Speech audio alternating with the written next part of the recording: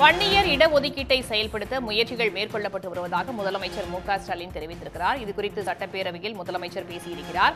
ஆணையம் மூன்று மாத காலத்திற்குள் பணியை முடிக்காததால் கால நீட்டிப்பு செய்யப்பட்டுள்ளதாக முதலமைச்சர் மு ஸ்டாலின் சட்டப்பேரவையில் தெரிவித்திருக்கிறார். வன்னியர் இடஒதுக்கீட்டை செயல்படுத்த முயற்சிகள் மேற்கொள்ளப்பட்டு வருவதாக முதலமைச்சர் மு க ஸ்டாலின் சட்டப்பேரவையில் கூறியிருக்கிறார். வன்னியருக்கான பத்து புள்ளி ஐந்து சதவீத இடஒதுக்கீட்டை செயல்படுத்த முயற்சிகள் மேற்கொள்ளப்பட்டு வருவதாக அவர் கூறியுள்ளார். உச்சநீதிமன்ற உத்தரவின் அடிப்படையில்தான் ஆணையம் அமைக்கப்பட்டுள்ளதாக முதலமைச்சர் சட்டப்பேரவையில் தெரிவித்திருக்கிறார். ஆணையம் மூன்று மாத காலத்துக்குள் பணியை முடிக்காததால் கால நீட்டிப்பு செய்யப்பட்டுள்ளதாகவும் முதலமைச்சர் கூறியுள்ளார்.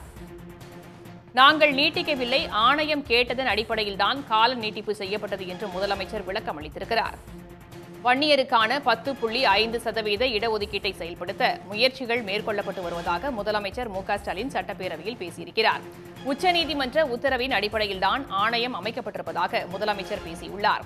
ஆணையம் மூன்று மாத காலத்துக்குள் பணியை முடிக்காததன் காரணமாக கால நீட்டிப்பு செய்யப்பட்டுள்ளதாகவும் முதலமைச்சர் கூறியுள்ளார்.